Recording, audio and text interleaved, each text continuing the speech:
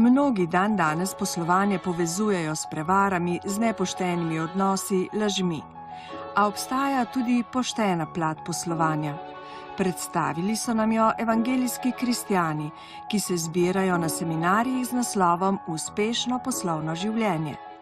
V Antonovem domu v Ljubljani so se pogovarjali o krščanski poslovni etiki in o tem, kako svetopisemska načela upoštevati in uveljavljati v poslovnem življenju. Ameriški gost Brian Higby, lastnik zavarovalne agencije in dolgoletni učitelj svetega pisma, je povdaril, da je njegovo izjemno uspešno poslovno življenje blagoslovljeno z božjimi darovi. In, in understanding that the kingdom of God is everything. It, it encompasses everything. That's God's desire, at least. The only place that, that the kingdom of God does not rule is in men's hearts who turn away from Him. And so, um, so in everything that we do, um, it- it's His desire that He would be partnering with us. I mean, if you read in the book of Genesis, it talks about um, that, that God uh, told Adam and Eve that they were to go and take dominion over the whole earth. And it names this list of all the things, of everything basically. And so it was, it was his desire for them to tend the garden, to do all of those things. And everything they did, they would do in partnership with him. And so when, when the fall came, when sin came on the earth, what we found is that all of that began to fall apart that nothing quite worked the way it was supposed to work because it was man separate from God.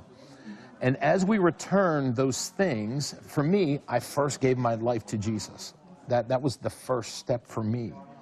But then I discovered, as I told in my story today, that, that my business uh, was something that he wanted to work with, with me as well. And uh, when it was apart from him, it didn't work well. But when I joined it with him in my walk with him, it started to work very well. And you also said that it's very important what's one's motivation for the business. What's your motivation? In business, um, th- there are two passions that I have as far as the work that I do. One is in ministry, and the other is in business. Um, I believe it's, it's, our, um, it- it's, it's our call, when we're called into business, it's called for us to be generous. Generous to our families, generous to our employees, generous to people that are in need. And for that to take place, we have to be able to generate wealth. Now, as an employee, you can only generate so much wealth.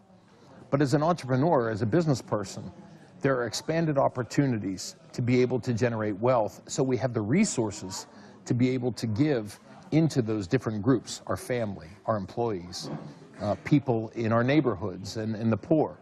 And so, um, so I, I just think it's critical, uh, and, and it's part of my motivation uh, to be in business, um, to be able to accomplish those things. Urša, danes dopoledne smo slišali, da Bog uživa, če lahko sodeluje tudi v poslovanju.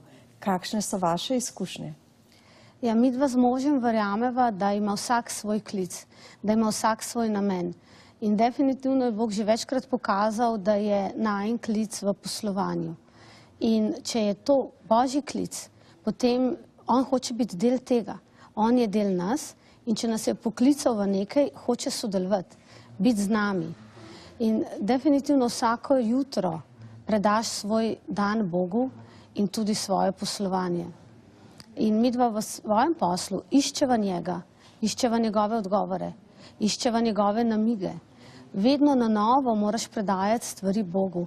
V poslu je v enem dnevu ogromno odločitev, drobnih, večjih in moraš biti hiter v svojem umu. Pride ena situacija, pride druga situacija, moraš prilagoditi urn- urnik, moraš iti nujno na nek sestanek, non-stop nekaj se odločaš. In če to naslanjaš na Boga, potem uh, mu predaš tudi te prioritete na, na nek način, mu zaupaš, da te bo prav peljal, mu zaupaš, da tisti namik, ki ti bo on dal, da se boš v tistem trenutku prav odločil. Slišali smo danes tudi nekaj besed o darežljivosti. Kako vi povezujete darežljivost in to kvaliteto darežljivosti v svojem življenju, v tem, kar počnete? Um, jaz bi to rekel na dva načina. Najprej v skupnosti, uh, jaz hodim v Evangelijsko krščansko crkvo Radovalca in mi je zelo pomembno, da, da, da darove, ki jih imam, uh, delim z njimi. a ne. uh, da tudi brezplačno kdaj uh, pred, za crkvu slikam, fotografiram, kakšen grafičen dizajn naredim. Uh, po drugi strani pa rad delam tudi z mladimi in, in mi je zmer uh, uh, lepo, kadar lahko kakšnemu omogočam, da, uh, da dela pri meni, uh, pa še zasluži nekaj. Ne? Tako da je prijetno s koristnim, pa še uh, slavo dajemo Bogu s tem, kar delamo. Res pa vse tisto, kar vidite na tej mizi, je brezplačno in tudi veliko seminarjev naredim brezplačnih. Če ljudje rečejo, da nimajo denarja, uh, lahko kar pridejo, če podjetje reče, da nima denarja, rečem, dajte mi za potne stroške za humanitarne organizacije, pa za društva, že tako delam brezplačno.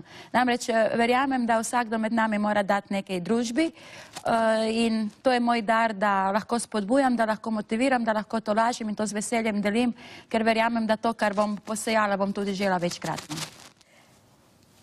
Peter, danes ste omenili, da obstaja včasih neka razpoka med osebnim življenjem kristjana in njegovim poslovnim življenjem. Ali je nujno, da ta razpoka obstaja?